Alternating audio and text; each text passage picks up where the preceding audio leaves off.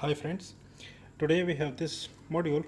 Uh, this has been sent to us by someone. Uh, one of my sub- subscriber had sent it to me. Uh, so we are going to make a review. I'm making a review and also I will show you what is this. This is an old piece of equipment uh, but before going towards the video first of all you have to subscribe my channel if not yet and also press on bell icon so then you will get notifications on each upload. And if you like this video please give a big thumbs up. Uh, so to I'm going towards the video. Uh, let us see what is this. As you can see there is a little small sticker over here which is showing some barcode and uh, some number was there before but it is also torn out and it's old. It's worn out also. Uh, so nothing we can see. And also here it could be i'm suspecting here could be a sticker which was showing some detail but it is not there at the moment and i'm i have been received it same as it is. Uh, so what it is you see one wire one cable is going in or going out and one cable is over here uh, somewhere like this. Uh, so don't know what is this what kind of module maybe some power supply maybe some inverter maybe something else. Uh, we are going to open this and hopefully uh, it will be a repair video also uh, if it is bad. So now i'm going to open this. Here is one screw only one phillips screw. I removed it. I'm going to open this these covers. You can see i removed this cover from and this pcb uh, from this cover will come off some way like this. And here if we will look at this uh, pcb uh, actually the people who are expert in the field of electronics they know very well but for the new people i'm uh, explaining each and everything. So each and every detail i will explain. Uh, so then each and every person will learn. We all will learn. Uh, so here is you can see this yellow transformer. These yellow transformers are uh, normally located in somewhat power supplies and also in inverter circuits. So either it's inverter either, either it's a power supply uh, an inverter is also a power supply as you know. But this one let us see what is this. The other side of the pcb if we will see mm, we can see a barrier over here one circuit is over here and the other circuit is here. Uh, so there is a barrier in the middle and we can see a cut over here and also we can see uh, an optocoupler over here. You can see here an optocoupler is located uh, which is normally in the power supplies. So this is sort of power supply. What what kind of power supply? I don't know yet. Uh, what is the input and what is the output? So let us see. Uh, first of all we have to see if this is if we consider this is as an input because here we can see the four diodes bridge rectifier and here we can see a MOSFET as switch and also some big components these capacitors we can see capacitors are here also but these capacitors these are uh, if I will see these are of high voltage 10 microfarad and 400 volt. So this is giving me enough information that of course this is input here is the fuse also I can see and here are some NTC and some metal oxide resistor MOV I can see uh, so these components are showing that this is the input side of the power supply and the capacitor voltage which is 400 of course this is showing that this capacitor is uh, normally used for the smoothing the line the mains 220 volt. As we have 220 volt mains over here so this is these two capacitors they are in parallel. I will show you in a little moment that they are in parallel. Uh, so mm, these capacitors are acting as filter for 220 line so here you can see one capacitor is over here one cap- the other capacitor is here. Here are small resistors. We can see. So this kind of you know uh, arrangement is normally in power supplies and this is the input. So now we know that this is line is for 220 volt input and here is of course the output after the barrier and here are some small voltage capacitors are located. 1000 uf 10 volt.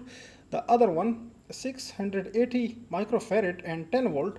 So the 10 volt capacitor is telling us enough information that and then and this 10 volt capacitor you can see this is connected to the output terminal. Here is the output cable if we consider this as an output. So this capacitor is connected to the output to the in the parallel of the output line so this is showing that uh, this this power supply is under 10 volt means it will be it it would be some way possibly it could be 5 volt because 5 volt power supplies are very very much common. They are used in chargers mobile phone chargers and some other char battery chargers they are normally used. So if we consider this but first of all what is the proper way is we have to switch on this thing this thing and then we will have to um, measure the voltages over here i mean to say by my multimeter i have to check the dc voltage over here then i will see what kind of power supply this is and how much is the output. So for the input, here are the two cables you can see. Uh, these two cables we will connect to the power power lines. Power line I mean to say the mains. So here my main is, so I will connect this over here and now this, at the moment it is not connected to the line so that's why I can touch it but later on while it will be connected to the line I will not touch over here. Here I can touch but here I will not touch because this is hot side so now I'm going to connect it to the mains.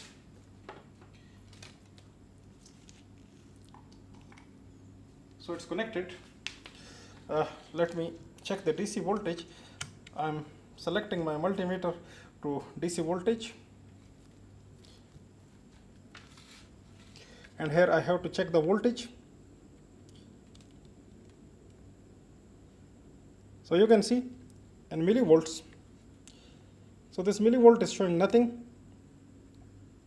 no voltage. I cannot find any voltage over here.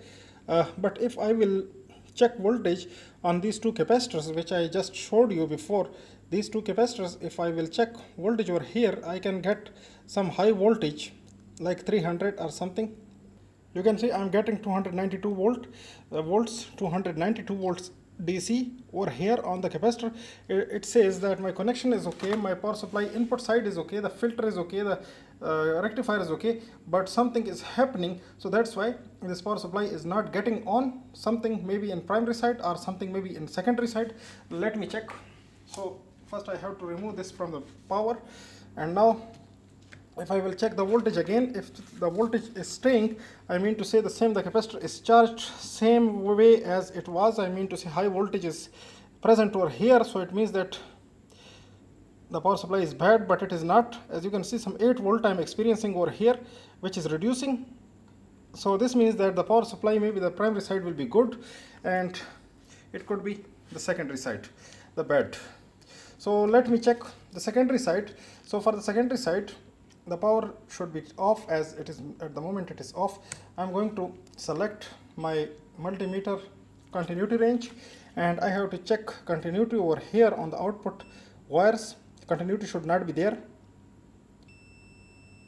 As you can listen the beep and you can see the zero reading.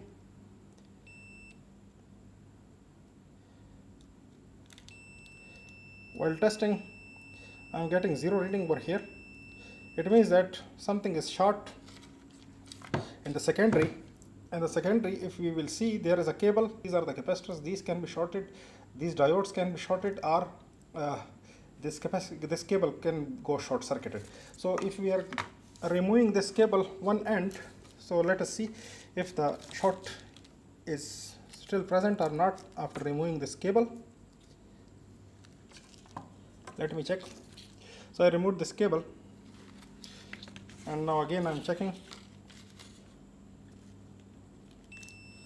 So still problem is there and the cable have no short circuit but problem is there on the board so let us see. So now I'm attacking on the diodes. If I will remove these diodes one one after another I will remove all three diodes. There, are three diodes you can see. So uh, first of all I will remove this one second this one third this one. Any of the diode if it is going short circuited or all of the diodes are going short circuited we will experience a short over here. So let me remove one by one all diodes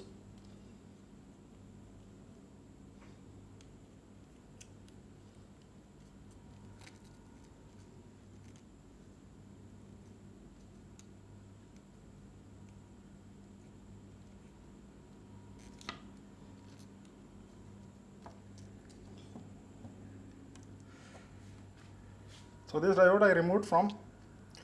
Now I'm going to test it.